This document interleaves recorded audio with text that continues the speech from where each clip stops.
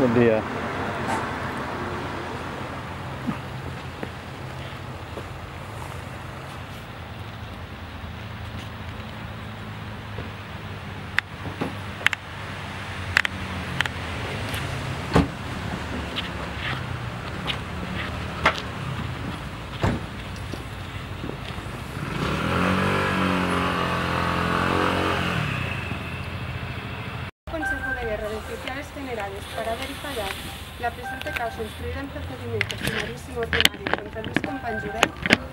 paisano, oído el fiscal y defensor.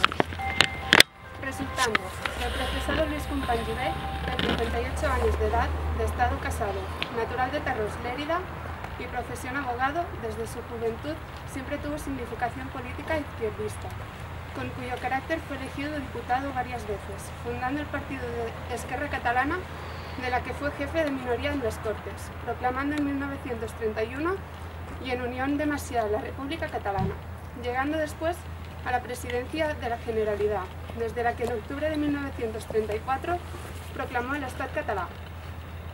lo que origina su, prisi- su prisión y condena por el delito de rebelión, pena de la que fue amnistiado en el año 1936, volviendo con tal motivo a ocupar la presidencia de la Generalidad,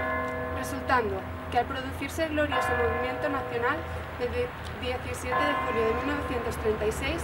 el procesado continuó en dicho cargo de presidente de la Generalidad, oponiéndose decididamente al triunfo del alzamiento, a cuyo fin celebró reuniones en las consejerías de la Generalidad, de las que salió acordado el reparto de las armas, que con profusión se hizo a los elementos frente populistas, para oponerse al Ejército Nacional, dirigiendo numerosas alocuciones alentadoras de la resistencia a la causa nacional y encazando desde la propia Generalidad la lucha animada por medio de órdenes que transmitió a las fuerzas dependientes de su gobierno, resultando que el procesado no puso remedio para reprimir los desórdenes, crímenes, asesinatos, robos, saqueos y depredaciones de toda clase, a que los elementos izquierdistas se dedicaron y que no solo los tole- toleró, sino que con su actuación más bien fueron favorecidos y alentados, resultando que el procesado, presidiendo el gobierno de la Generalidad, legisló ampliam- ampliamente en toda clase de materias, inspirándose siempre en el afán de conseguir el triunfo de las iz- izquierdas, llegando en este orden a incluso asumir facultades que nunca le correspondieron, organizando milicias armadas, con nombramientos expresos de jefes militares, organización de la industria de guerra, declaración de plaza bloqueada de la de Barcelona, creación de tribunales, populares, con distribuciones y nombramientos de funcionarios judiciales en consonancia con sus ideas políticas, organizando las patrullas de control a las que dispensó tal protección. No obstante, los crímenes que cometían, que, que incluso hizo pasar a su disolución muchos de sus componentes al cuerpo de mozos de escuadra. Mantuvo inteligencia con organizaciones extranjeras favorecedoras de la rebeldía y finalmente dispuso incautaciones e intervenciones de bienes y bancarios resultando que huido a Francia el procesado, ante el avance de nuestras fuerzas, en dicha nación vecina continuó usando el título de presidente de la Generalidad, haciendo propaganda de todas clases y manteniendo relaciones políticas con otros unidos con el fin de entorpecer al gobierno nacional. Hechos probados. Vistos los autos, siendo vocal ponente el auditor de brigada don Adriano Coronel Velázquez, considerando que asumido el poder legítimo del Estado por las autoridades militares que a partir del 17 de julio de 1936 se alzaron en cumplimiento de la misión atribuida al, ej- al ejército en su ley constitutiva de defender la patria contra enemigos tanto exteriores como interiores, que significaban los partidos y el llamado gobierno del Frente Popular, y que surgido así el nuevo Estado, la oposición armada contra el mismo origina la rebelión definida en el artículo 237 del Código de Justicia Militar considerando que del expresado delito es responsable en concepto de autor el procesado, porque los hechos que la sentencia declara ponen de manifiesto que lo realizó en notoria con penetración ideológica con los propósitos perseguidos en la rebelión y para la consecución de los fines de ella, por lo que incurrió en la responsabilidad que determina el citado artículo 237 en relación con el número 2 del 238 del expresado Código de Justicia Militar, considerando que concurren en este caso, además de la destacada personal- personalidad del procesado por el cargo que desempeñó, las circunstancias agravantes de trascendencia del delito, el daño causado con relación al servicio de los intereses del Estado y a los particulares a que se refiere el artículo 137 del Código Castrense, considerando que toda persona criminalmente responsable de un delito o falta lo es también civilmente, vistos los artículos citados y los demás de general aplicación, así como el número 2 del grupo primero del anexo de la orden de 25 de enero de 1940 y Ley de Responsabilidades Políticas del 9 de febrero de 1939, fallamos que debemos condenar y condenamos al expresidente del disuelto gobierno de la Generalidad Catalana, Luis Companys Judet, como responsable en concepto de autor por adhesión al, del expresado delito de re, rebelión militar, a la pena de muerte con accesorios legales, caso de indulto y expresa reserva de la acción civil o responsabilidad de igual clase en cuantía indeterminada. Lo que por nuestra sentencia juzgando pronunciamos, mandamos y firmamos Manuel González, Federico García Rivera, Fernando Jiménez Sáenz,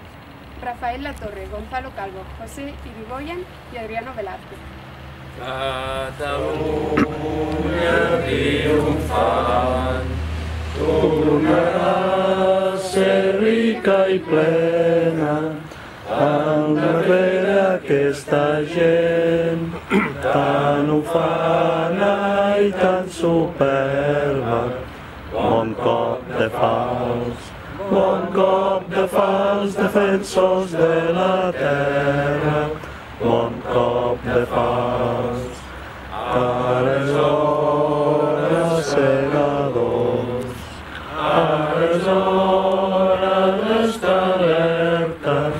per quan vingui un altre juny. Esmolem ben bé les eines, bon cop de fals, bon cop de fals defensors de la terra, bon cop de fals, que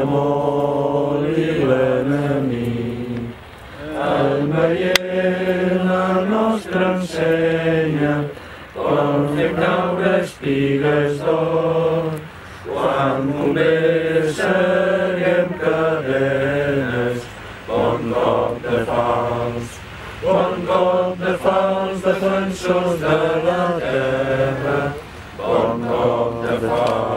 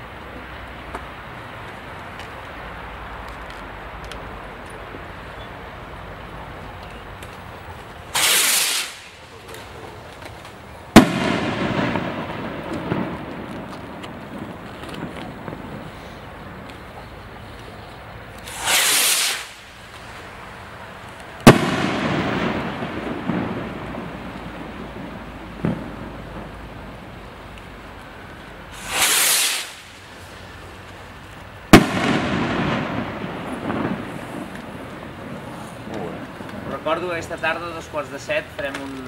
petit acte de commemoració allà baix a, al monument de del president Companys, d'acord? Moltes gràcies. Sí, sí, sí. Molt bé. Ah,